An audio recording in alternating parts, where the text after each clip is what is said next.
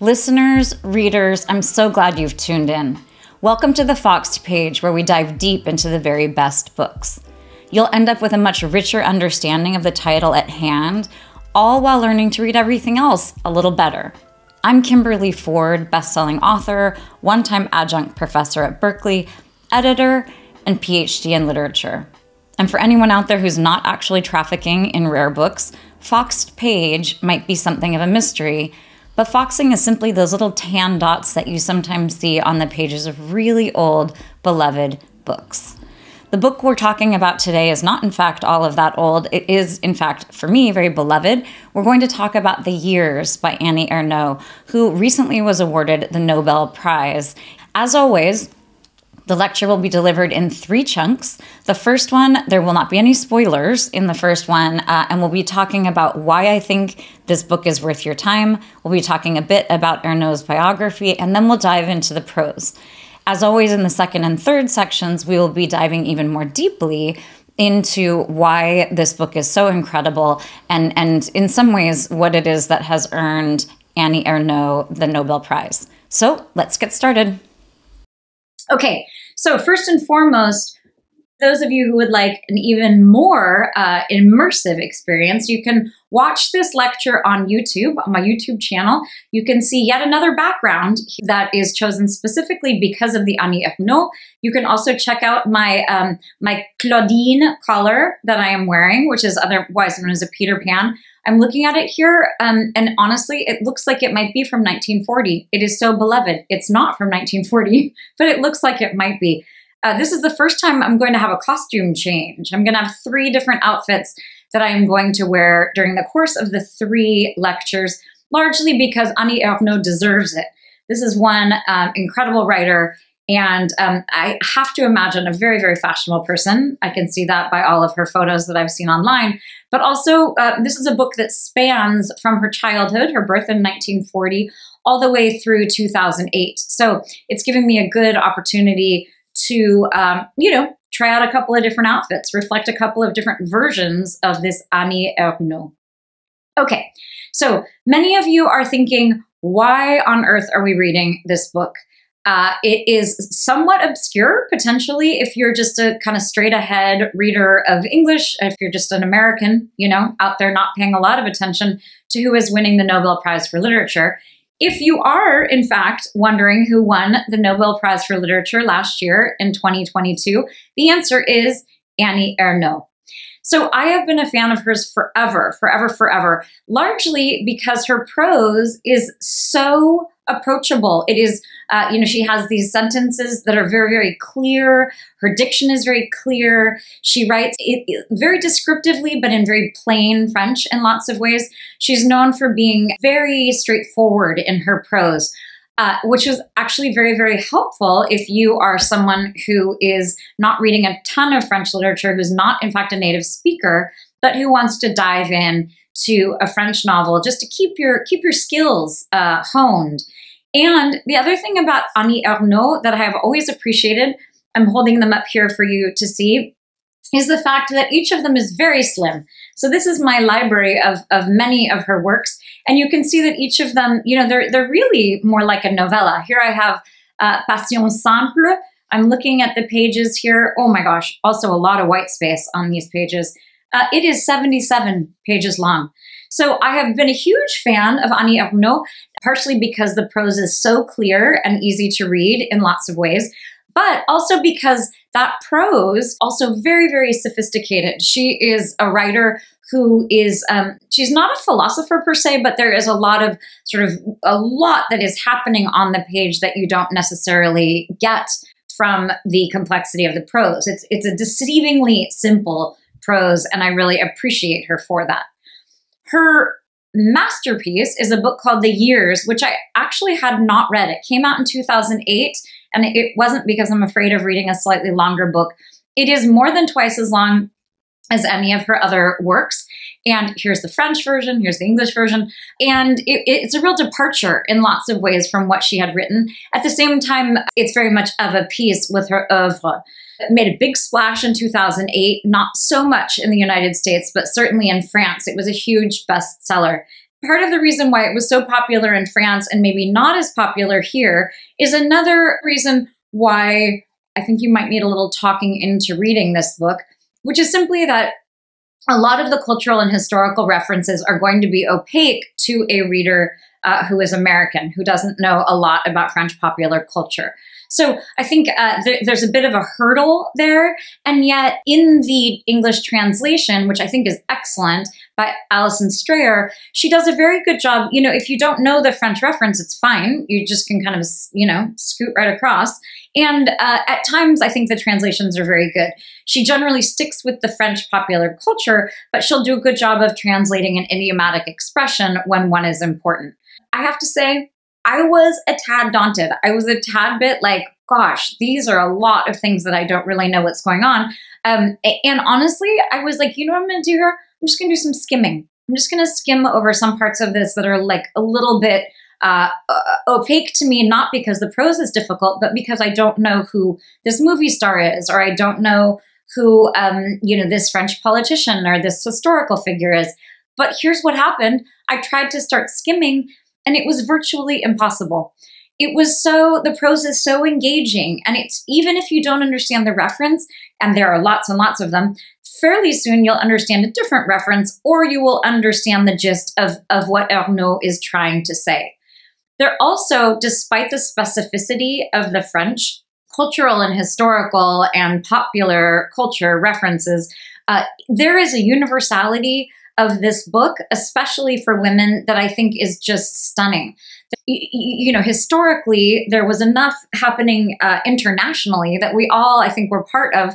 Obviously, uh, the women's movement, or she has just an absolutely gorgeous passage about 9-11 there, there are several different uh, times where it does feel very very international and also again there's a there's a universality to being a, a member of a family for being a spouse potentially, for being someone's son or daughter. So there is a universality of it that I think certainly outweighs the specificity of the references. If that is not enough of a sales job uh, to, to sort of spur you on in your reading, if you haven't already finished, I'll also tell you that Oprah says that you should definitely be reading this book. And I like Oprah's picks. I mean, you, you might be thinking that that's a little, um, you know, that I'm sort of joking there or that I am, um, you know, looking down potentially on Oprah. And au contraire, I am not looking down on Oprah. I really love what she has done for all sorts of voices and for really bringing a lot of people to the light. And I'm, I was very happy when I saw that in Oprah Daily, um, they really were they were pushing our Annie Ernaux. So take it if you don't want to take my word, take uh, take uh, Oprah's word. As I said before, last year she won the Nobel Prize. This is in 2022. And she won it, the Nobel Prize Committee said the following She won it for the courage and clinical acuity with which she uncovers the roots, estrangements, and collective restraints of personal memory. I love a lot of what they're saying here. The clinical acuity is, is a little bit what I was getting at when I was talking about the clarity of the prose. This is not, there's not a lot of, um, you know, figurative language, not so, not a lot of flowery stuff, not a lot of, you know, uh, uh of, of uh, metaphors or similes. This is a very sort of clinical approach to uh, uh, her writing in general, to a bunch of different phases of her life. Uh, she writes a whole book about her father. She writes a book about her mother's Alzheimer's. She writes a book about her experience of having an abortion. She writes an experience, I'm looking at the books here, oh, about having an affair uh, with someone who was very different than she was. And so each in each one of these places, I think clinical acuity is such a great phrase because there is an unsparing, kind of unflinching approach that, that, that also is is sort of limpid. It's that very clear uh, uh, sense of really looking at something under a microscope without losing uh, the larger impact. And I love this the roots, estrangements, and collective restraints of personal memory. So to me, that it, describes the years perfectly, but it also describes every single one of her books. This notion of um, the collective restraint of, of, personal memory. It's this idea, it, and these the, the, roots and the estrangements. There, there. Memory is sort of the the overarching, you know, theme in all of her work. And it is, in fact, very, very personal. What she's discussing are very personal memories, you know, some very difficult and some really excellent times in her life. But also, there is constantly this kind of philosophical estrangement and, and this erudite look at, uh, at memory. Okay, we're going to discuss very briefly Annie Ernaux's uh, biography. It seems a little weird to give you this quick sketch because if you have already finished the years, lots of this is already obvious to you because, in many ways, this book is autobiographical. Um, you'll notice earlier I called it a novel and then quickly retracted that. It is not, in fact, a novel, and it, in many ways, it defies categorization, which I love. The French have never been so hung up as Americans are uh, in terms of like which section of the bookstore is this going into? Is it memoir? Is it essay? Is it autobiography? In French, they have something called autofiction, uh, which I think this is very much like that, but it's also blended with essay. Autofiction simply being kind of a melding of memoir and fiction. As you know, if you have read the book, Annie Ernaux was born in 1940. So she's 82 years old now. Her birthday is in September. She was the only child of working class parents who I love this resonance um, because I've just recently recorded uh, my series on Flaubert and Madame Bovary. Um, she was born in a town right near Yvetot, but she was she grew up in Yvetot, which is a town that figures heavily in Flaubert's life. So both of those towns are close to Rouen, which is one of the towns that that um, well, it's it's the big city uh, in Madame Bovary. So she grew up in Normandy. Again, for those of you who uh, listen to the Madame Bovary lecture, it, we're very far north, uh, almost to England, kind of on the Channel. They're they're on the Seine, uh, the Seine which flows from the English Channel ish down uh, into Paris. So um, the, the climate would have been blustery and um, and chilly and rainy, and I think that that maybe informed part of who Annie Ernaux is. Much like everything that we talked about with Madame Bovary, there Annie Ernaux has this real preoccupation in the best of ways with passion. So she wrote a book called Passion Simple, which is about having an affair. But all of her books are, are, are pretty frank about sexuality and, and very um, clear about sexual desire on the part of a woman, which I love because, you know, if if Madame Bovary was 1857 and she was born in 1940, you know, roughly 100 years later, we do have some echoes, in fact, of Madame Bovary. So you have this real um, concern with sexuality and with sex and with passion and romance. You also, um, in lots of Annie Ernaux, um, but especially in the years, we have this real fixation on consumerism and on uh, on advertisements and on the culture that is really always telling us we need more and everything is obsolete and you need to buy something new, which again has this incredible echo of Madame Bovary. Uh, there's also a lot of concern in both Madame Bovary and in Annie Ernaux's The Years about progress and about history. In Madame Bovary, it's mostly about medical things uh, and how they maybe don't work out so well for some of us, but all of this kind of faith in medical science. Whereas in the years, there's this real testing of, of whether or not progress is a good thing. So um, in Annie Ernaux's um, younger years in the years, we learn a lot about her political activism. She was politically active, still, I imagine, is throughout her lifetime. And, you know, a lot of what happens with the information age and a lot of what happens with the next generation, it seems to me that Annie Ernaux is a bit disappointed. So there is this kind of questioning of, of how well progress is serving uh, an entire culture and a country. In both Madame Bovary and in the years, we have a lot of class issues. So Annie Ernaux is decidedly working class in her roots. And then because she went to university and because she became very educated and became a school teacher and because she spent time in Paris and time abroad in England as an au pair, she became very aware of her class and and and sort of the um, the limitations of her class and and sort of the very subtle differences between lower middle class, middle class, working class, all of these distinctions in France that again were also really really important in Madame Bovary.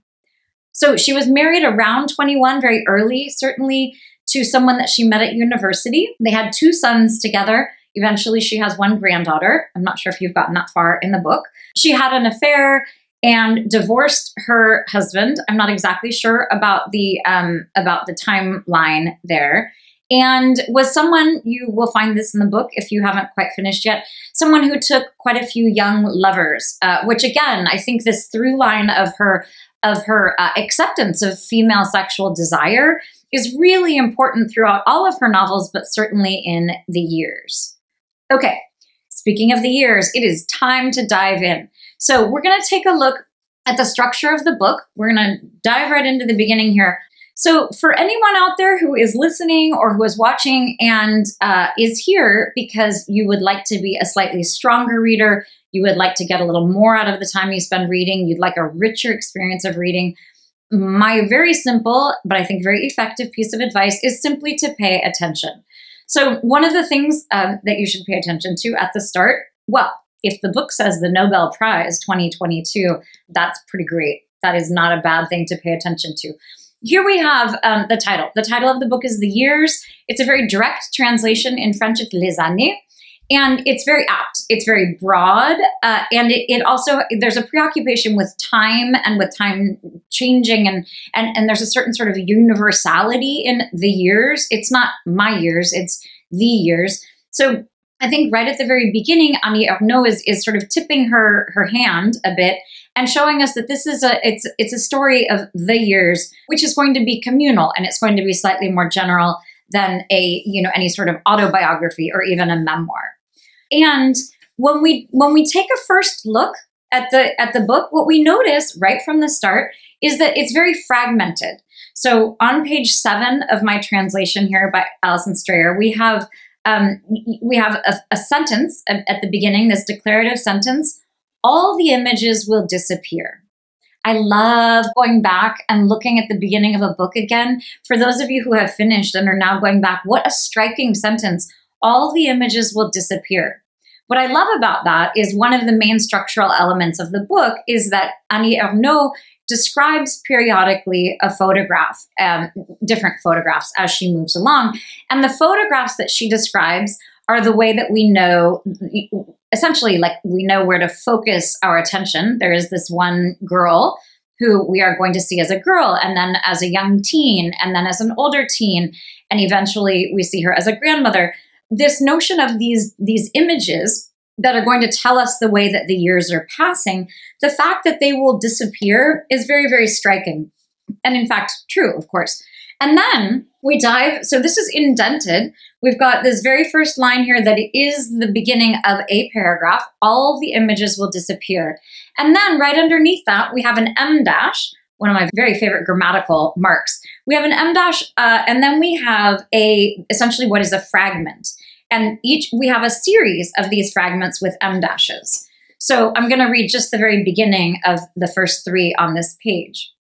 The woman who squatted to urinate in broad daylight. That's the first em dash. Then there's some more about her. The tearful face of Alida Valli as she danced with George Wilson in the film The Long Absence. The next one. The man passed on a Padua sidewalk in the summer of 1990, his hands tied at the shoulders, instantly summoning the memory of thalidomide. So we have these three very different fragments here. We have a, a woman who is urinating behind a stone wall um, in broad daylight. We have a an actress, and then we have uh, uh someone, a stranger, who is um, is a very specific moment in time, a very specific generation who um, suffered physical deformities because of thalidomide. So interestingly, in the French version, when we dive into the beginning here, um, you do have that same first sentence, and it also is indented. Toutes les images disparaîtront. Um, and then we don't have any em dashes. We simply have lowercase, and we have these blocks of text. So I actually think that the the em dash might be a little bit of overkill. I like the idea of, of this as seeming more fragmentary and, and a little bit less list like. But I also understand, um, you know, the idea of wanting a little more order. Uh, it's very maybe American, and wanting a, uh, a something that sets off the uh, these blocks of text that we have. So it continues this series of these fragments, and it's everything from random people to superstars, well, film stars, to other random people. And then on page eight, we have this kind of interesting phenomenon here where if you are a reader of Annie Ernaux, um, you might recognize this woman. This is on the this is the second fragment on page eight. The majesty of the elderly woman with Alzheimer's who wore a flowered smock like all the residents of the old folks' home. So, if you are a reader of Annie Ernaux, you know that in fact she wrote an entire book about her mother's Alzheimer's. So you you in the midst of these strangers, uh, uh you know, we're assuming that the person, the man she saw on the street in Italy, um, who had the thalidomide uh, deformity. Gosh, I hate. I just don't think that's quite probably the right word, but he had the effects of the thalidomide that were obvious to her. Um, then we have this woman who is described in much the same way. She's sort of on par with these other people uh, in terms of being, she's not named. We don't know that she is um, in relationship with our narrator. We don't even really have a very good sense of the narrator here. And yet, if you are a reader of Annie Ernaux, you know that in fact this is likely a nod to her mother. And then right across the page here, on page nine, we have the newborn flailed in the air like a skinned rabbit in the delivery room of the Clinique Caudéran Pasteur, found again half an hour later, dressed and sleeping on his side in a little bed, one hand outside and the sheet pulled up to his shoulders. So I don't, I have not read anything um, about Annie Ernaux that makes me think that that came, that comes from one of her um, one of her specific books, and yet because of the intimacy of this sentence, um, you know, this impression of the newborn uh, as being like a skinned rabbit in a very specific uh, delivery room, and then found again half an hour later with with the exact sort of pose of the baby, that sort of intimate pose and that vantage that uh, that looks like you know you you almost are forced to see this vantage from you know the I'm I'm I'm making like a lying down kind of a, a, a, gesture here. So I'm imagining that Annie Ernaux is lying down in her hospital bed and it's suddenly sort of awakened or is or is surprised a bit by the image of her infant son uh, who is lying on his side. The fact that the infant is also male leads us to believe in, perhaps that this is Annie Ernaux's son. So the effect of, and this goes on, we have um, more and more. We have next the image of Scarlett O'Hara. Very importantly, we have mention of Molly Bloom. So Molly Bloom is a literary character, comes from James Joyce's Ulysses. She is the wife of Leopold um, Bloom, and Molly Bloom is is a um, as is Scarlett O'Hara. These are images that come back up again and again throughout uh, throughout the novel in ways that are really striking because it's very much the way that memory would work. It would be fragmentary, things would rise in your memory um, and, and then dissipate. Certain things would come back up. Um, for me, it's not so much Scarlett O'Hara or Molly Bloom for that matter. But you know, there's certain um, literary figures who mine might be a little more like a you know Little House on the Prairie, like a little Laura Ingalls Wilder kind of a moment. So you know, you everyone has these these uh, cultural references that, in fact, do keep arising in memory, much the same as these figures keep arising throughout this text. So, and then we have this very important phrase on the top of page 11 here. And one day will appear in our children's memories among their grandchildren and people not born. Like sexual desire, memory never stops. It pairs the dead with the living, real with imaginary beings, dreams with history. So, in the midst of these fragments, we in fact have um, the, a few sort of proper paragraphs that have indentations and that have you know regular punctuation instead of having these em dashes or these fragmentary sentences and what i love about this one is you know we're only a few pages into a book that again has a lot of white space on the page. It's a book that reads fairly quickly, at least in the beginning. This linking together of sexual desire here with memory. So she says, like sexual desire, memory never stops. So, sexual desire, again, is something that is uh, woven throughout all of her works. And it's very important here because not only is it linked in this book to memory, but it is also linked to the act of writing. So, one of the things that um, I would remind you to do when you are reading anything, but certainly when you're reading a text like this that's a bit more challenging, is to focus on if you can hear that in the background, that is one of my bigger dogs snoring. I just don't even know what that might sound like to you. Oh my gosh, it's it's so loud. It's so loud in here. But sorry, so this idea of sexual desire as being linked both to memory and writing is something that we will see again and again, and it's a topic we're going to take up in the second installment of this lecture. To, to, to sort of finish up this first chapter here, I want to um, just reflect a tiny bit on all of the different sort of amalgamation of things we have here. Again, that striking first sentence all the images will disappear. Then we have the woman urinating. We have the um, movie star. We have the thalidomide baby as a man. Wow, so awkward. Um, we have the elderly woman with Alzheimer's. We have the infant son. We have Scarlett O'Hara. We have Molly Bloom. We have um, a, sort of a philosophical moment about uh, sexual desire and memory. A little later, we have a, a quotation from Voltaire. We have some things that are in italics which I am taking to mean um, th- that they're either a song or a poem. Uh, and then we have a whole amalgamation here in parentheses of a bunch of sayings, which I had to look all of these up, things that that are sort of puns that the family talks about. Um, and she says right here, they serve no purpose but to consolidate the family esprit de corps. So there's this sense of, of words as doing all sorts of different work here um, not only puns that are keeping her family together, or not her family, but a family, uh, but also all of these different images of these different people we are invited to um, to conjure up in our memory. We have this whole set of fragments that come after that first striking sentence about images disappearing. And then at, on page 15, at the end of this very first brief chapter, we have another striking sentence everything will be erased in a second.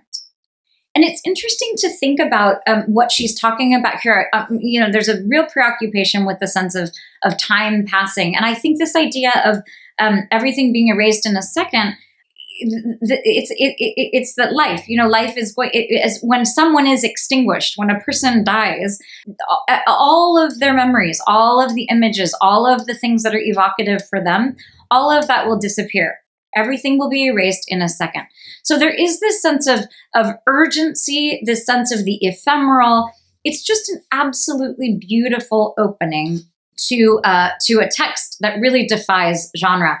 And um, I hope you join us for the second installment because we're going to take a look at what essentially is a sort of a second opening a little bit like Madame Bovary, we have sort of that first opening with Charles in the schoolyard. And then when we have Madame Bovary herself sort of come on the scene, it feels, in fact, like a second opening.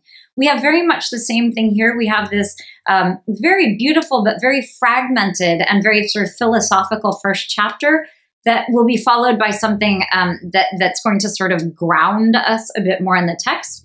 That something is a, a chapter we're going to take a look at in the second installment. So please join me to continue our conversation of this incredible novel, Les Années, The Years by Annie Ernaux.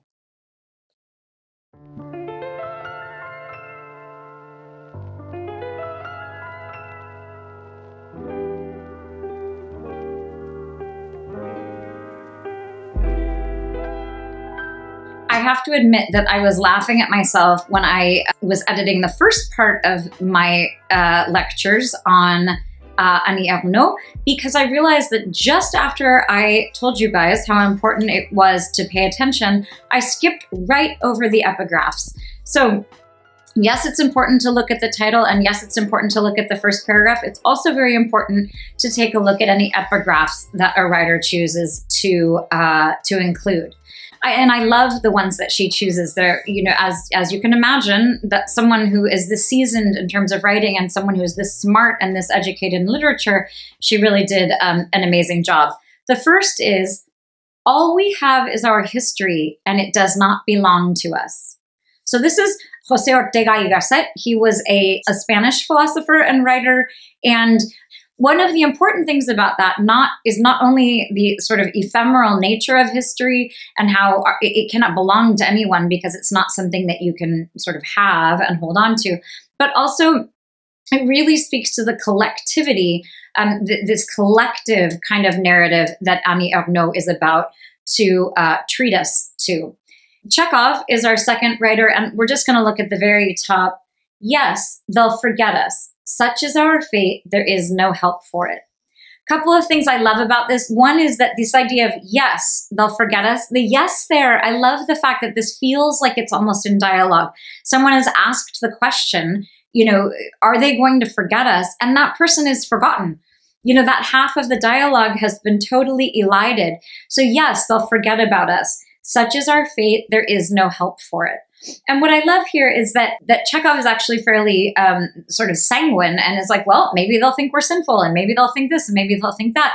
Um, but again, it's this idea of um, we are meant to be forgotten, and and I think one of the things Annie Ernaux is getting at here is yes, we, an individual, is going to be gone in you know in a second. Everything will be erased. All of the images will disappear. And yet we as as a human i mean eventually the entire human race will um, you know be forgotten um, but i do think that there's this notion here of, of of wanting to sort of of wanting to capture this collectivity wanting to capture the the history of the french people then we dove into the first in the first session we dove into this first chapter which I love the fragmentation. I love that she's, we're really kind of, to use a terrible idiom, we're out of the frying pan and into the fire here. We're just jumping right into the flames at the beginning of the book because it's not, um, you know, this is not sort of a gentle landing. There isn't a lot of context. It, we're just right into this idea of this collective culture. And then uh, on page 17, so we're, you know, we're a little ways into, uh, into this novel, not a novel, I it reads sometimes like a novel, but actually not really. so we're into this text up at the top here, that first paragraph on page 17.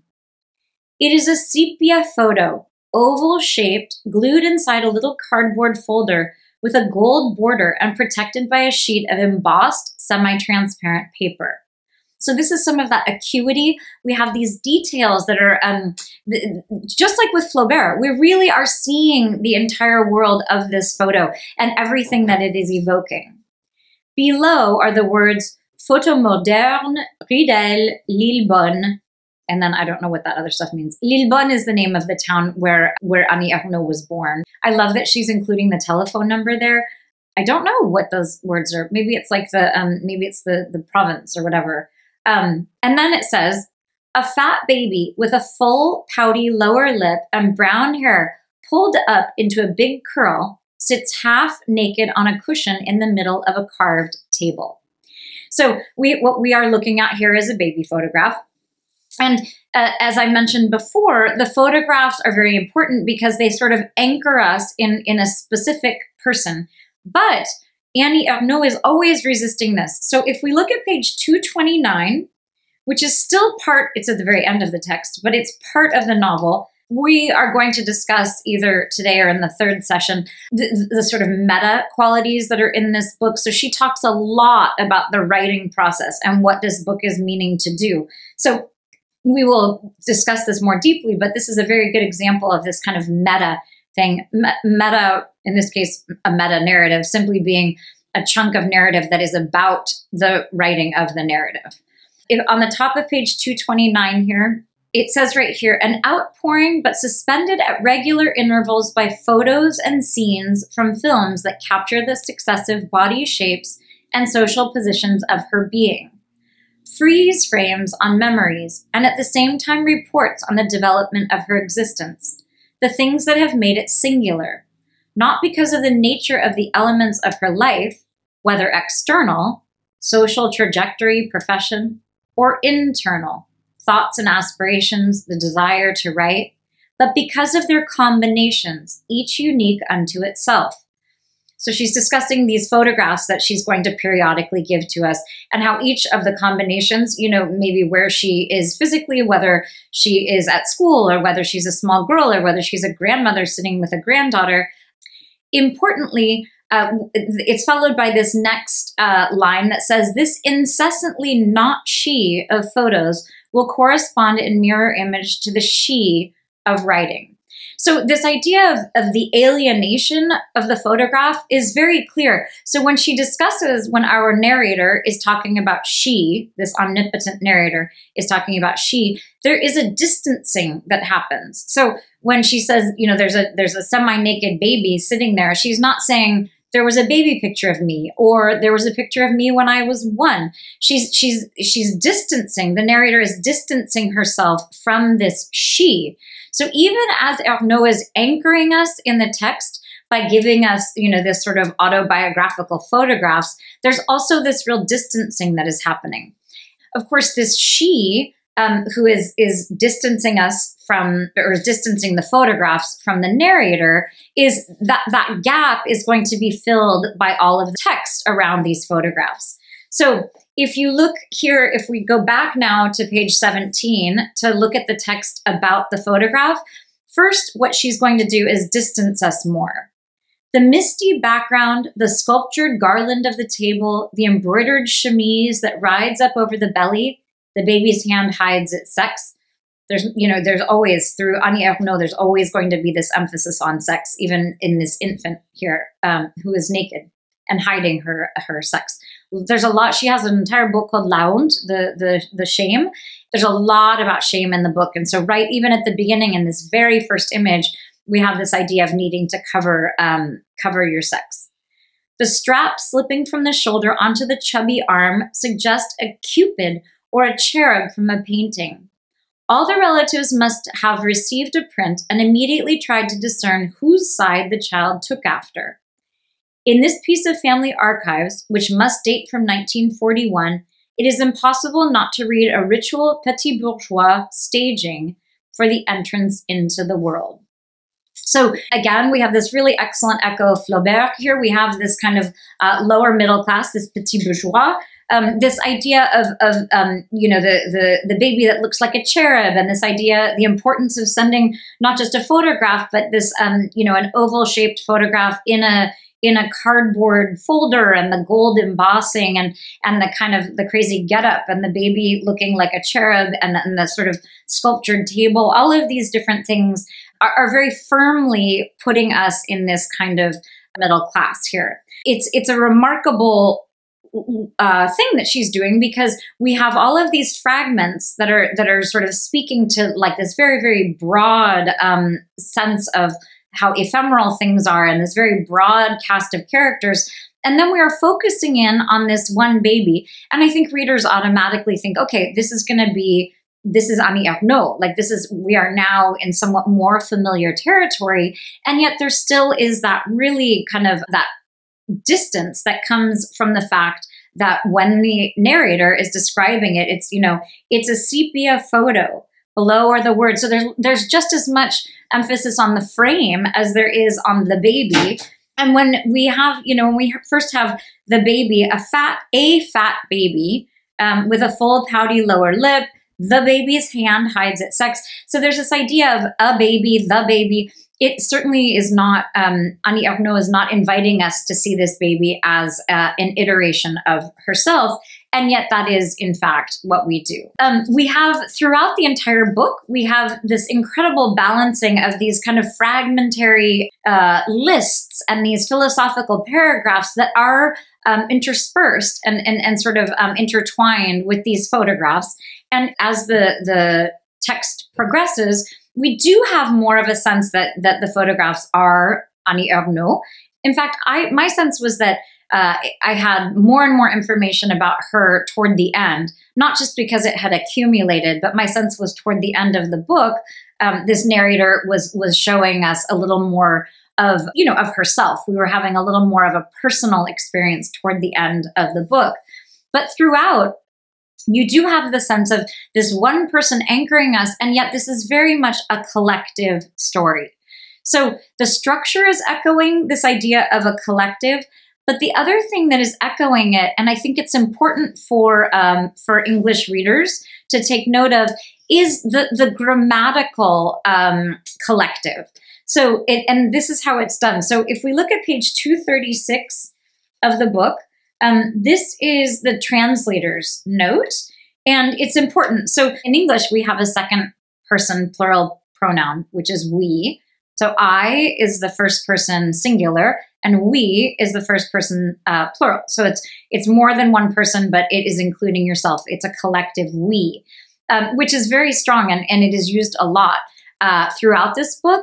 But in French, they also have the, the pronoun on, on, which means in English, it would most likely be uh, translated into one. One did this, one did that, or the passive voice, like it was done. Um, but in French, on as a pronoun has replaced we. It's so interesting that the linguist in me loves this. So on, as in like one does this and one does that, is is um, conjugated the same way that the third person singular is. So it's il, elle, on. All of those are all conjugated in the same way, and they're they're conjugated in lots of ways. In, in, in ways that are closer to the first person singular. So French has done this very cool thing where the second person plural, the we form, which has lots of exceptions and is oftentimes conjugated in a different way, that has really fallen out of use, certainly in spoken French. I mean, not entirely, but but it is used much less. You almost always have people saying "on," like we did this and we did that. What you would say in English is replaced by this pronoun, which is so handy. It's just I love the idea of a language sort of streamlining itself, and certainly as a um, as a non-native speaker of French, I love that you can use on and not worry about all of those tricky uh, second person plural conjugations. But what we lose a little bit um, in the English translation is that in the French, sometimes Annie Ernaux will use on, which is this kind of collective we, but it's also the third person. And sometimes she will use nous, um, not as often, but that is more this kind of straightforward we kind of feeling, the second person plural. She also will use um, she or he. So there's this real melding, and and actually our um our translator she says on 234 to write in the je collectif in French, Annie Ernaux uses the nous or the on, which I translate mostly as we, but sometimes as one for formality or rhythm or simply because it is the only choice that presents itself. Very occasionally, I use the impersonal you, she also uses il, elle, the plural forms of those, they, or les gens, people, and later in the paragraph switches pronouns, often more than once to on or nous or il. So he's, she starts out talking about she did this, she did that, but then very clearly, when it is the same person, she starts talking about we or on. And so that sense of, of um, all of those different pronouns, which we lose a little bit of them in English, because we either have to use the passive voice or just we, um, we lose that sense of collectivity. Not not entirely, it's still there.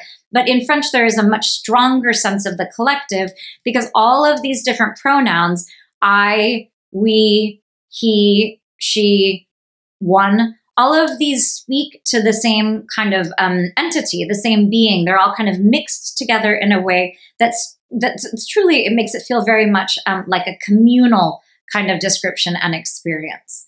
So we, so it's very important to note not only that is, um, you know, all of these cultural references and the historical references throughout the years are about a collective group, but in fact, the very grammar is reinforcing this structure, this kind of combination between this one person, this the this person who we see these images of through the years, but also um, th- this kind of communal we. Not only does Annie Ernaux have this amazing ability to use this je collectif, this I, this communal I, but she also um, has this incredible ability when she is using certain details and she's talking about certain rites of passage to have these uh, paragraphs and scenes that feel both very specific and also totally universal. Uh, if we look at the bottom of page 76 here, having failed to panic in time, somewhere in a pine wood or on the sands of Costa Brava, one saw time stand still before a pair of underpants whose crotch had remained spotless for days. So, a couple of things here. Um, this is a very specific, you know, both um, with the pine wood um, or in the sands of Costa Brava. So, this these are different different places, obviously, where the, our young narrator or one of her cohort has had some sort of a liaison. And I love here how it's um, we have we saw time stand still this idea of time with the capital T here time is obviously one of the huge themes of the book and i love the idea that um, this capitalization of the word is you know whether or not you noticed it doesn't matter because somewhere well it matters a little bit but somewhere in there um, it, it is um, evoking something specific and, and adding a little bit of punch a little oomph to the idea of time. And this idea of the crotch of the underpants and the idea of um, having to having failed to panic in time all of these are, are, are giving us a sense of, of a younger person who is, you know, panicking. The stakes are very high, but the crotch of the underpants, there's a real intimacy along with the kind of I mean, it's incredible when you think about the intimacy of, of, of, a passage like this, and yet how kind of general we are still. This is not, it's not a story of any one person, it's not a story of one young woman, and yet it, it can feel very intimate. It had to be got rid of one way or another. Rich girls went to Switzerland, others to the kitchen of an unspecialized, unknown woman with a probe boiled in a stew pot. In the French version, the stew pot is a it's like a an Instapot. There's like a name, a brand name for it. It would be like in a crock pot. Um, which there there are a lot of um, in the French there are a lot of uh, it, it's confusing as an english reader but there are a lot of names that are very specific that i think you know if someone says to you Bande de soleil or if someone says to you um, tab soda you know there are those names for brands that are that are very evocative. And in this case it's very sort of harrowing. It's not just a stew pot but it's like someone's using their rice cooker to um, sanitize instruments for an abortion. The fact of having read Simone de Beauvoir was of no use except to confirm the misfortune of having a womb. Incredible. So we have this panic. We have these very specific times. Um, we have this this um, sort of evocation of of what would happen, whether it was Switzerland. So we're bringing in the class consciousness here. You know, if you're rich, you go to Switzerland. If you're not, it's literally um, you know like rice cooker time. Wow, that sounds so callous the way that I'm saying that.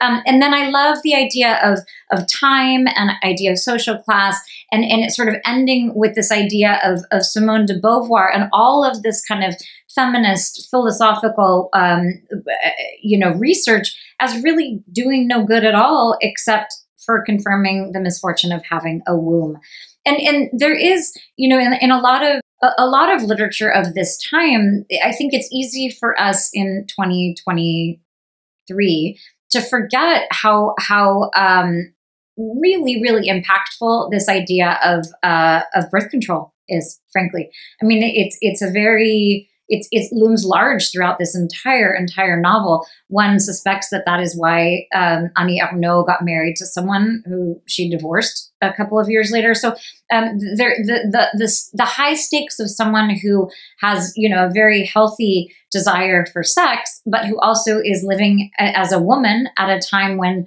birth control was not reliable and not easy to get in a Catholic country. Um, it, it, there's really a, a very palpable sense of how difficult that is throughout this entire work. And to wrap up this, I, I, wanted to take a quick look at the idea of, of how these phrases or the, the, these scenes that Annie Ernaux is so good at constructing, um, allowing them both to be very specific and yet to remain very kind of universal and general, part of the power of them is the way that they accumulate throughout the course of the work. So in the text, we have this idea of abortion, the word abortion, it comes up again and again and again. And here we have um, on page 164, so significantly later in the text, we have at the bottom of page 164, we have a line that reads, We who had undergone kitchen table abortions, who had divorced and believed our struggle to free ourselves would be of use to others, were now overwhelmed by fatigue. So every time you um, you have a, a mention of either abortion itself as an issue or of the threat of having gotten pregnant, every time Annie Ernaux uh, introduces these ideas, there's a slightly different cant to it. We're moving toward it in, from a little different position, either as a married woman later or as a very young girl um, who is sort of struggling to figure out even the mechanics of sex.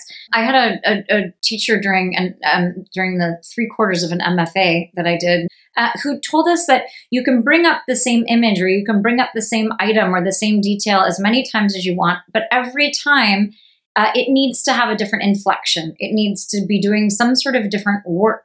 And Annie Ernaux is so good at this. So each time we see um, Molly Bloom, who again is uh, Leopold Bloom's wife in Ulysses by James Joyce, or every time we see Scarlett O'Hara, there's a different inflection, partly because of the context and because of the accumulation throughout the book itself, but also because Annie Ernaux is skilled enough that she's giving us um, a, a, a, different look at it. So in the beginning, when she's talking about abortion, it's this really urgent sense of um, of panic and of lives changing. And you know, when she mentions Simone de Beauvoir as not being helpful, there's also that real juxtaposition and the real danger that you know, if you want to be an intellectual, and she says at some point that she didn't want to get married, she didn't want to have children.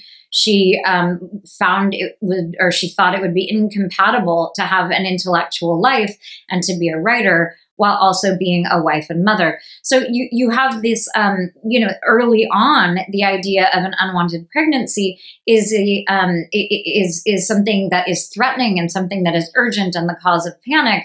And then later on page 167, we have this idea of fatigue. We have this idea of, um, you know, at one point having thought that the women's uh, liberation and that, you know, even having a diaphragm, having access to any birth control was sort of groundbreaking and was going to make the lives of everyone else easy, but, or easier. But later in the in the text we have this real sense of fatigue so one of the things that Ernaux is so good at is this repetition, is this kind of um, th- this dredging back up, just the way that memory would do it. You know, this dredging back up of um, of an image or of a person or of an event, and and yet um, just exactly the way memory works. You every time you're reminded of something, you have a slightly different take on it because you're older, because you're in a different context, because it has come up uh, in different circumstance. So, in um, the way that she is able to do this in a text like this again and again with so much power is really one of um, the more impressive, I think, elements of of the uh, of the work. So, thank you very much for joining section two of our three part deep dive into Les Années of Annie Ernaux, um, the years by Annie Ernaux, and um, please join us for the third chunk where I will be wearing yet another outfit for those of you who are watching on YouTube. Um, this is going to be much more appropriate, potentially, uh, you know, a much more staid outfit, one that comes from toward the very end of the book, where Annie Ernaux is uh, a grandmother. So please join us for the third section and thank you for listening.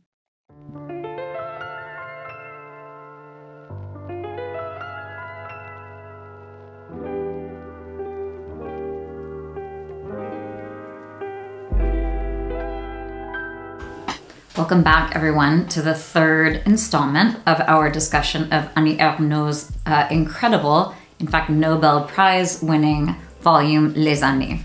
For those of you who are uh, watching the YouTube channel, you can see that uh, for this third installment, I've, I've uh, donned my third outfit, which comes directly from a description in the book of Annie Ernaux in a photograph with her two sons and um, one of their girlfriends, where she is wearing on the beach a, um, a beige sweater and a loosely knotted scarf. So that's what we've got going on here.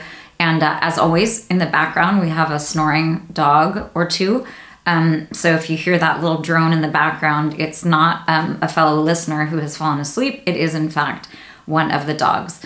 Um, and for those of you who are watching, I the, the French version of uh, of Annie Ernaux's books these days come with this really cool kind of banner thing, this Prix Nobel de littérature, um, which I just love. I love all the fanfare. It's so well deserved.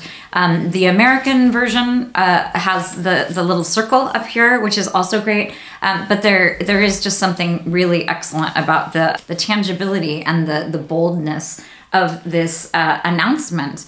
Because in fact, obviously, the Nobel Prize in Literature is an enormous, enormous thing to have won Annie Ernaux being uh, the first French woman to do so. I think there are like 19 French writers who have, or 15 or something like that. I'm not a numbers gal, but she is in fact the first French woman, and it is so well deserved, again, for that clinical acuity, but the way that she has treated memory and the way that she has created this vision in Les Années, but also in her other works of this collective uh, French society and, and really like a, a, a, very large breadth you know from from her birth essentially in 1940 all the way to 2008 uh, okay we're going to continue the discussion today. We're going to discuss sexuality which is i think one of the strongest uh, sort of themes one of the strongest uh, uh, uh sort of veins that annie ernaux taps in this book les années uh, then we'll discuss feminism and finally we'll take a look at the close of the novel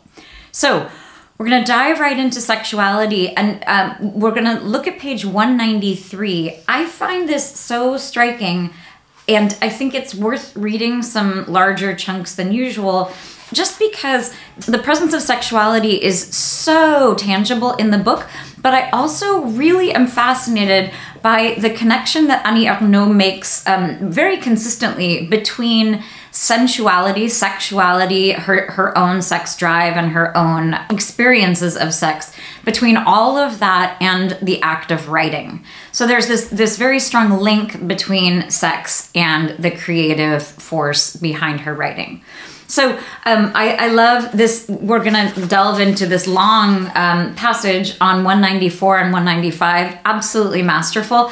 But one of the things that I like about it, you know, we're toward the end of the book here, is that all of that, this kind of long exegesis, it's not that long, don't let me scare you um, th- sort of this this profound exegesis about writing and about the act of writing and sexuality is all within the context of her i believe she's 69 and she that seems funny to me just because of the sexual overtones you getting it she might be 68 she might be 58 but she is with a um, her younger lover who is 29 so um, down at the bottom of 193, it says, Often as she lies against him in the half sleep that follows love on Sunday afternoons, she lapses into a state that is like no other.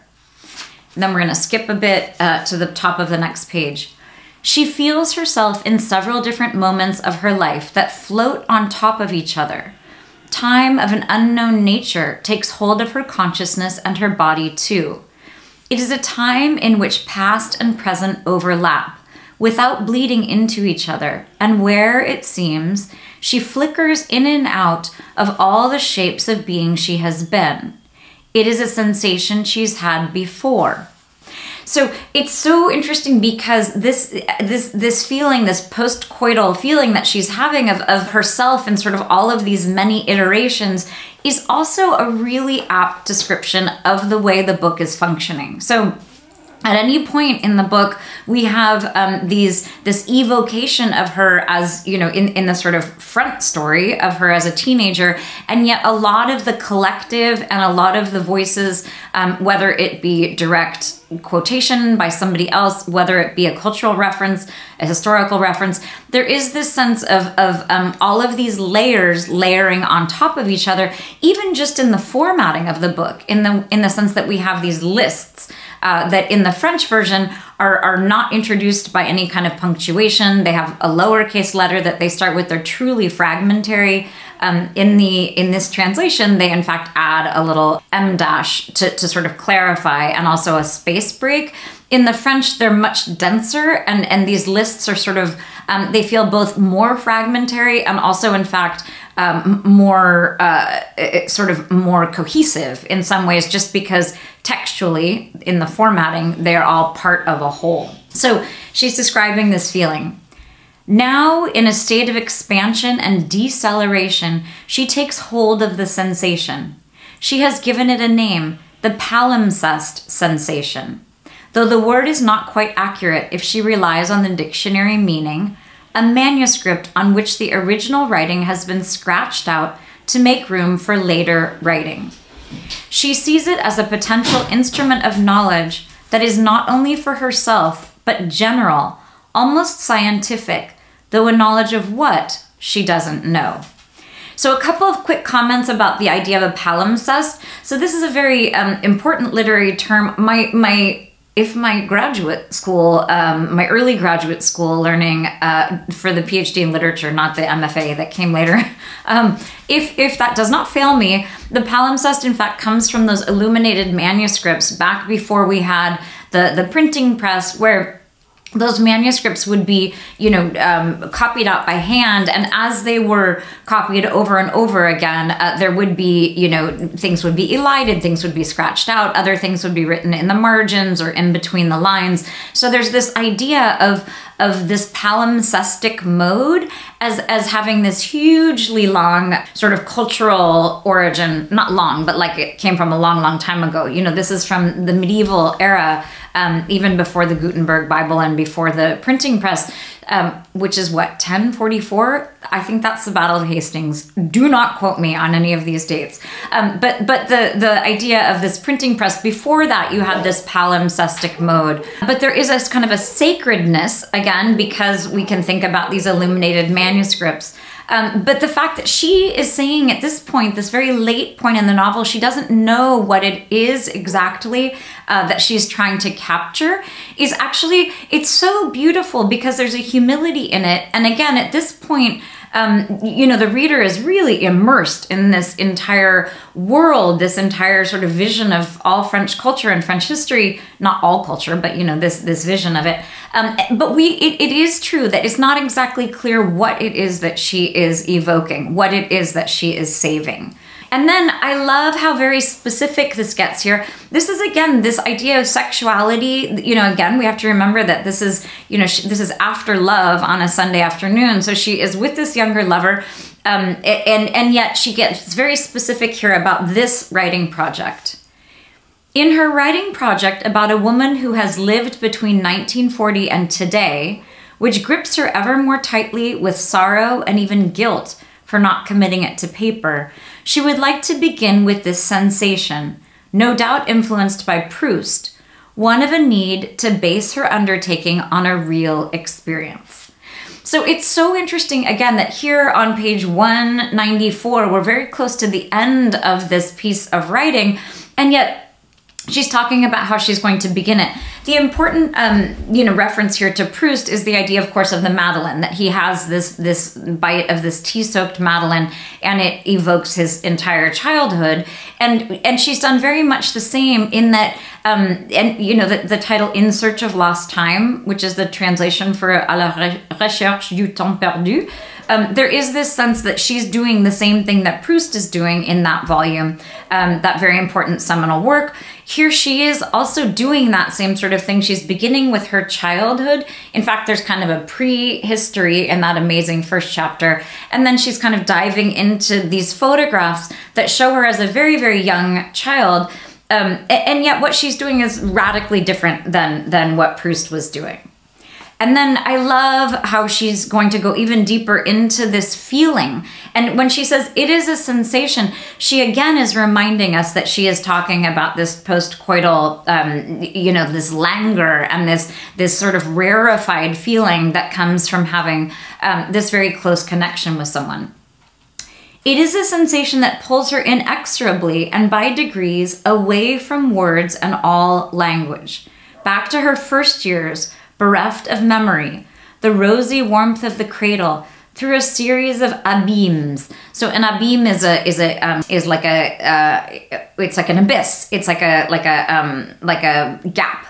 Um, those of Birthday, the painting of Dorothea Tanning, which, if you'd like to see a copy of that and just hear my very quick commentary, uh, tune in to the YouTube channel if you're not already there.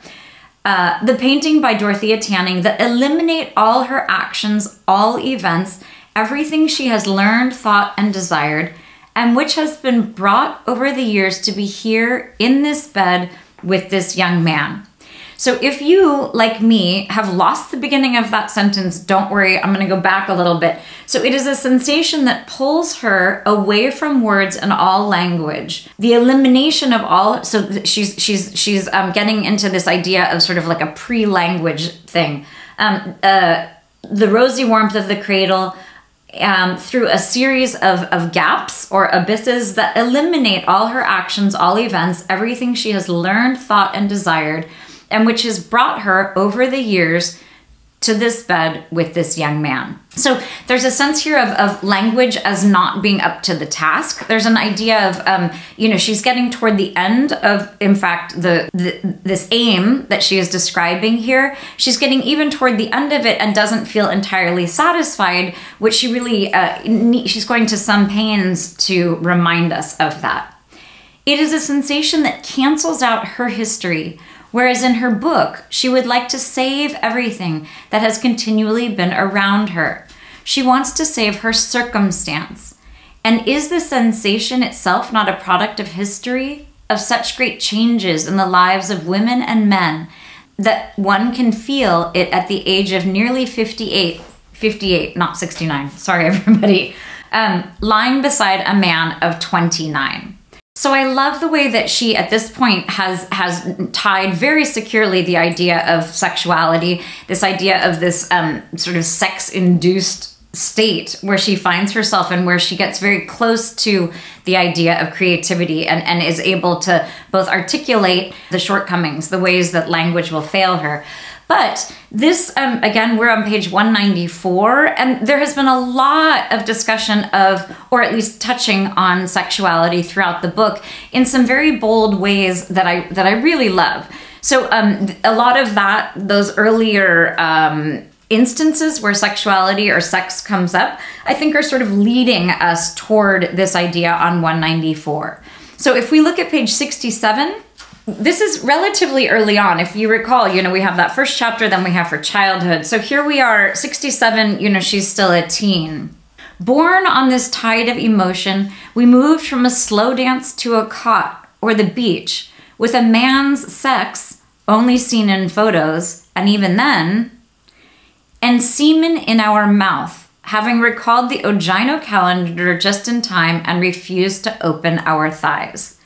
I don't know about you, reader, but um, when I got to that part, sorry, to a cot or on the beach with a man's sex and semen in our mouths. So there's this um, very kind of graphic and and this idea of a man's sex. It's it sort of alienates us um, from from like the romance or the the kind of misty um, you know, uh, idealization of the sexual act to then the idea of semen in the mouth. So there's this sense of um, the very sort of uh, tangible aspects of, and the very kind of shocking aspects of an early sexual experience. So this is doing one of the things that literature I think does so well, which is it's a little shocking as the reader to come across this um, with a man's sex, then this little parenthetical, and then and semen in our mouth.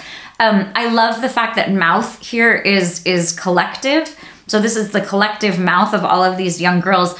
And I think a bit of the surprise that comes on the part of the reader is meant to mirror, in fact, the surprise of the young girl who, um, you know, during fellatio would suddenly be having this experience of semen in her mouth as if from nowhere. okay, and then um, we're going to look at page 104 so this is um, a little bit further on, and she's now uh, discussing how suddenly everything that was taboo is not taboo anymore. And there's a bit of irony here, but it plays well, I think, against all of the other mentions of sexuality that she has made along the way. So on 104 up here, the discourse of pleasure reigned supreme. You had to feel pleasure while reading, writing, taking a bath, defecating. It was the alpha and the omega of human activities. Then we have this nice space break. We reflected on our lives as women. We realized that we'd missed our share of freedom, sexual, creative, or any other kind enjoyed by men. So I, I read the second part purposefully because she does link together um, this freedom, sexual, creative, or any other kind.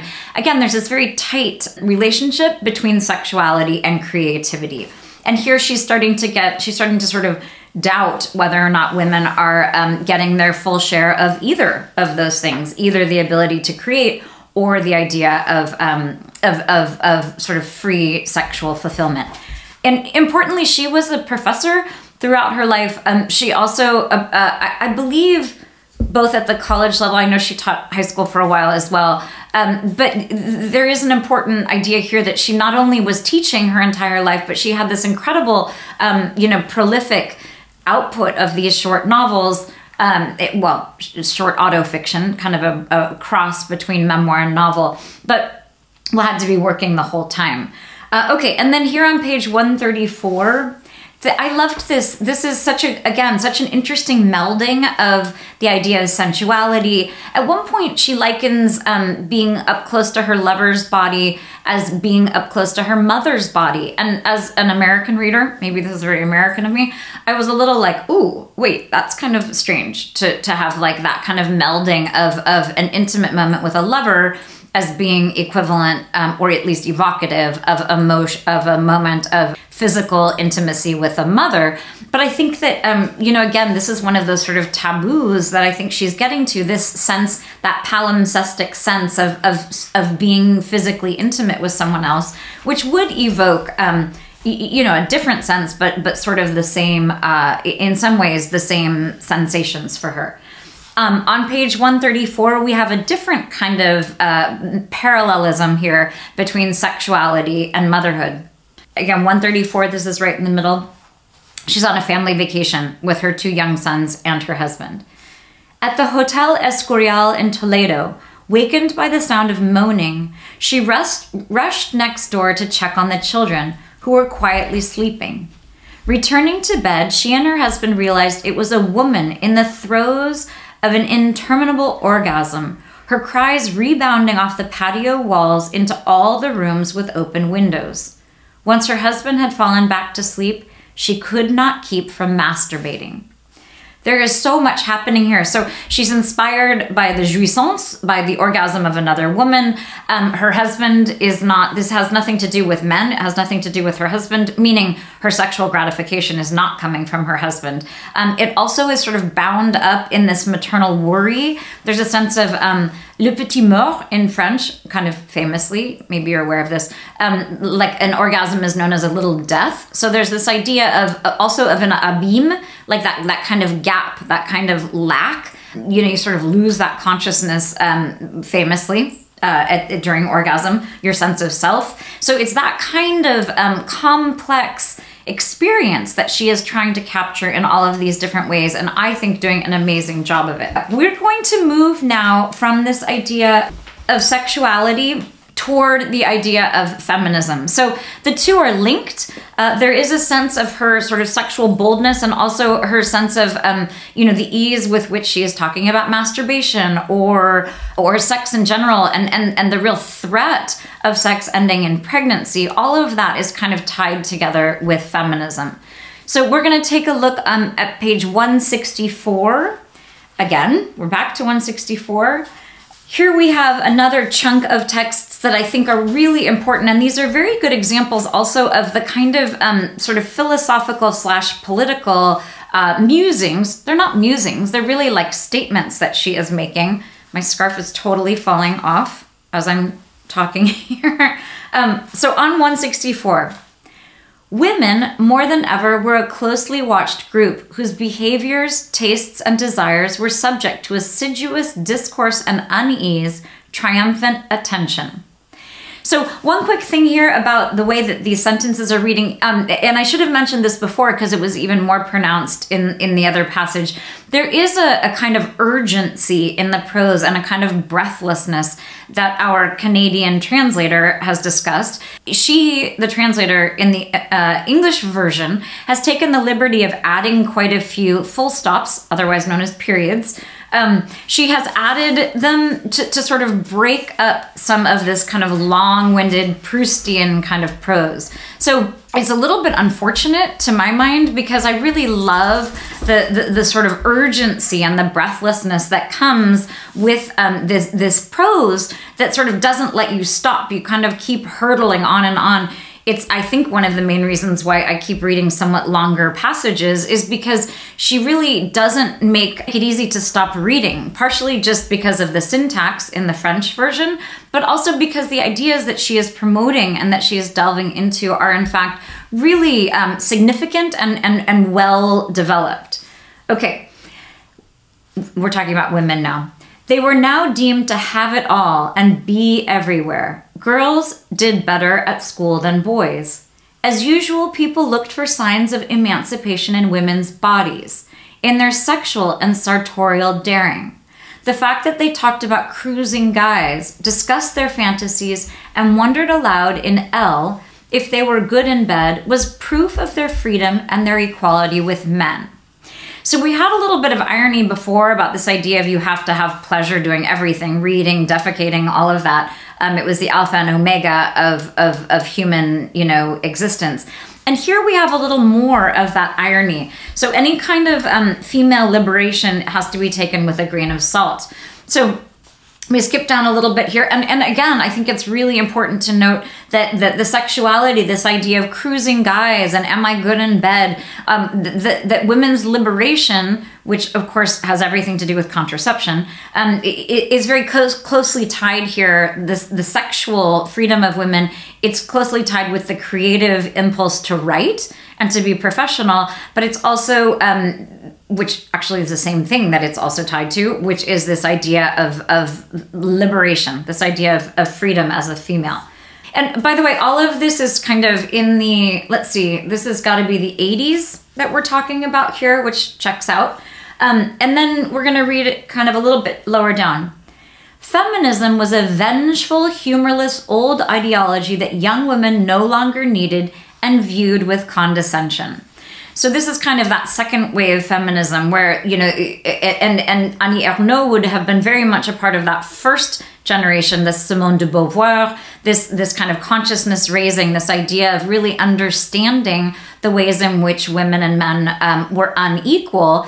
And then there comes this time in the 80s. I myself um, went to high school in the 80s and was sold that whole bill of goods that we were all sold in the late, late 80s which is that women could have it all. You can be a doctor and a mother, but also you still need to be able to set the table and you need to be a sexual being.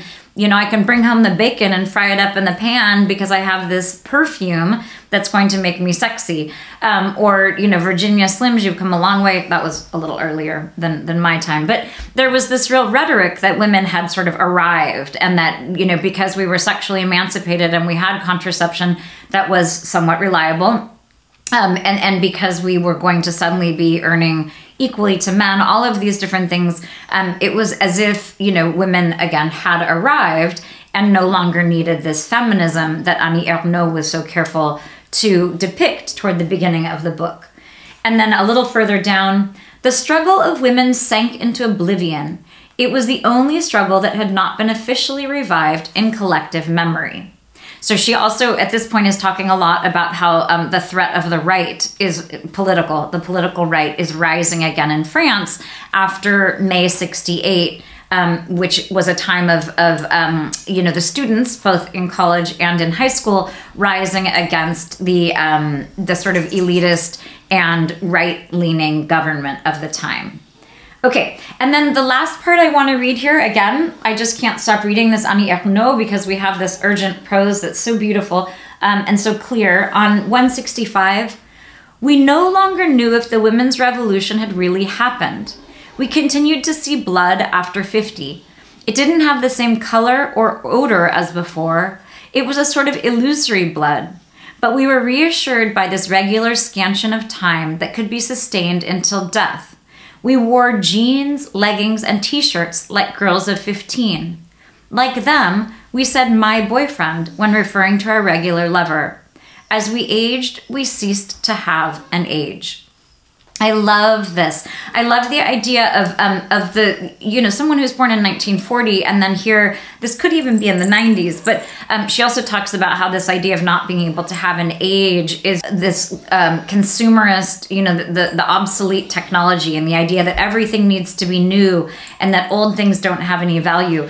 Um, there or the cult of youth among women. This idea that we need to be young, we need to dress young, we need to look young. Um, that would have been a real departure for a woman who was, you know, 17 in 1957. So there's a there's this beautiful, I would argue, this beautiful scope where we get to see so much of what has changed um, because everything is sort of on this even keel. We have this this sort of um, constant presence and this collective that feels nice and wide, so we can get a sense of the entire French culture, which uh, becomes more and more global toward the end of the book. Um, but but some of these you know these recurring um, you know things about youth or about sexuality or about um, politics you know sort of the circularity of history it's all so beautifully depicted okay I want to um, close by taking a look at one very beautiful. It's it's funny. This is a very short passage um, on two fourteen that I just loved, and it was.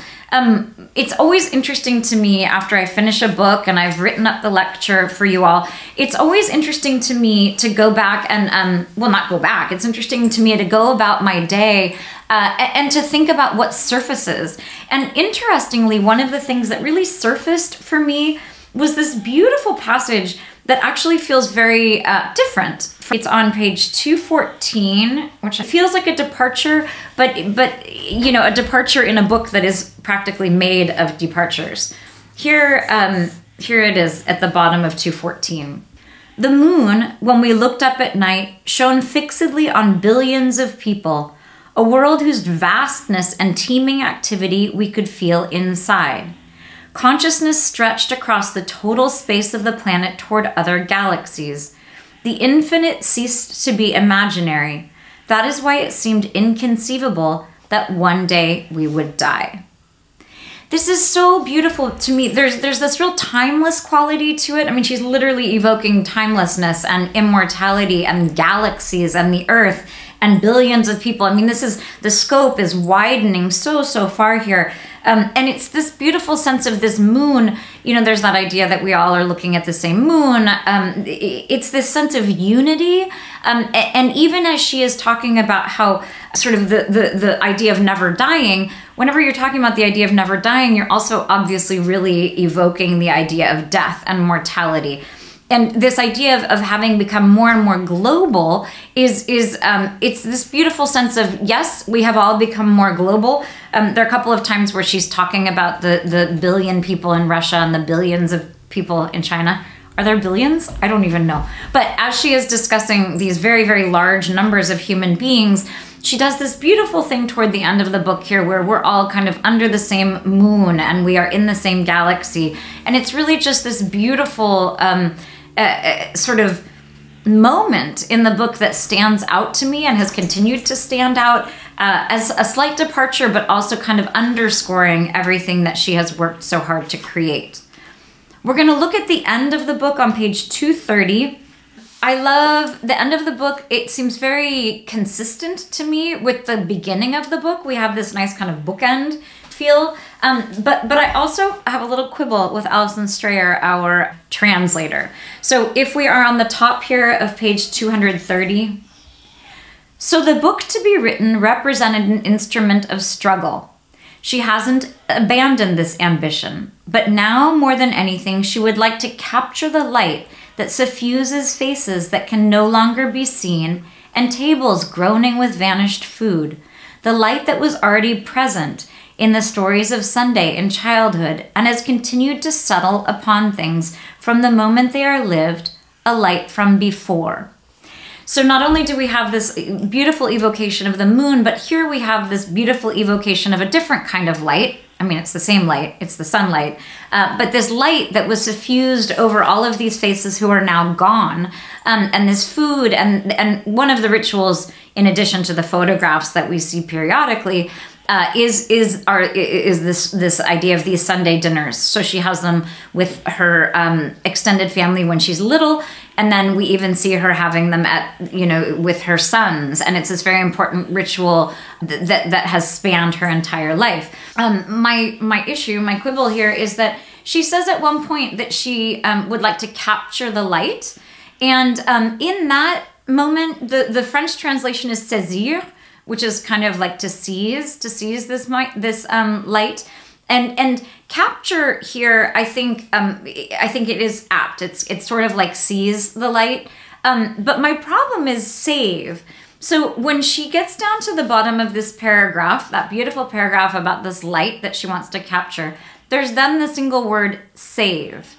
So what she means, and in the French it is sauver, which is to save as in like to keep or to salvage. Um, so then you have this series of, of uh, fragments that we are um, understanding that are things that she wants to capture. They're the things that she wants to keep or salvage. But the first time I read the English translation, my memory is so bad, um, that I was like, save. In my mind, I thought she meant accept. So she wants to chat, she wants to capture all of these things. And then when she says save, in my mind, I was like, accept? Accept these things? So that might have only been me, but for anyone else who had that um, that experience, just you know, know that you are not alone because it seems like she wants to um, capture all of these things, save X, Y, and Z, meaning except for X, Y, and Z. So it, it's um, I think it would have been better if if it were maybe I don't know if it was salvage. Salvage is, is a little different than sauver. Sauver is much closer to save, um, but it doesn't have that double meaning of accept. So then, just like in the beginning of the chapter of the book, we have these beautiful fragments. And then I love at the end here save something from the time where we will never be again. It's such a beautiful and fragmentary and brief um, way to close the book. Uh, again, I was a little confused by the save part. Um, if you think about it as sauver, in, in order to salvage something from a time where we will never be again. The other thing that's really beautiful in the French is this is an example of on, um, and on has that beautiful kind of double meaning. It's not it's not really a double entendre. It just has this this evocation or this connotation of both one. So it means both one as the individual, but also this on, this collective we. So it's that really beautiful French thing where it is both talking about an individual and a collective. So I love the close of the book um, in French. I found the close of the book in English a little bit um, a little bit tricky. Still beautiful, and I really feel like that last sentence hits exactly the right note, as you could say about so much uh, of the rest of the book. So, thank you so much for uh, for joining me in this discussion of Annie Ernaux and her incredible book, incredible volume, The Years finally now at the end i've stopped calling it a novel. It's definitely not a novel. And i hope to take a, a, deep dive into one of her other works. I just have to decide which one. For any of you who have a little bit of french um, you know even from high school annie ernaux is such a good person to read because maybe not the years because a lot of the the prose is very sort of heady and a lot of the references might not resonate with you. But pick up any one of the rest of her books. I have them all right here. And really treat yourself and your brain to a little workout with the French. Um, and I wanted to end for those of you who can see. Uh, I just have a, a I have an image here. It's a little tricky to see of my grandmother, and it's a black and white photo of my grandmother. She is in Stamford, Connecticut, at her parents' house there, and she has fallen out of a wheelbarrow. It, but it, she's laughing hard, um, and she's wearing this beautiful white frock kind of dress. It's like a little shift with a little cap sleeve and some adorable flats that I'm just absolutely enthralled by. And she's clearly been playing with someone, um, maybe her older brother Lincoln, maybe her father Gutzon, um, and, and, has fallen out, and someone has captured this moment that is um, it is singular. And I keep it here on my desk along with a portrait of my grandmother. Um, as you can see there, that is my grandmother right next to Joan Didion. These are the women who are showing me how to age. These are the women I'm looking to to figure out how to how to move um, through my 50s and beyond. And I, I, loved the idea of finding a snapshot of my own and taking a second and comparing it a bit to um, what Annie Ernaux is doing in her work, just because I do think it can underscore a little bit of this universality and, and really the gift that she has given us with this novel. So thank you for tuning in. I hope I hope you'll come back soon to listen to something else. Readers, thank you so much for tuning in today. The lectures really are the lifeblood of the Foxed page, but you should really go to thefoxedpage.com. There are 5-minute recommendations where I will predict in about 5 minutes whether you should or should not tackle Ulysses or maybe why you shouldn't be so snobby about the recent uh, Liane Moriarty beach read. There are also talks, no rereading required, on old favorites like Are You There, God, It's Me, Margaret, or Frog and Toad, which is quite frankly a literary masterpiece. There's also this very cool thing where you answer a couple of questions and this cool wheel spins around and spits out a recommendation that I think might be exactly what you need and it might be something that stretches you a little bit. Come and check out thefoxedpage.com. Thanks for listening and mostly happy reading.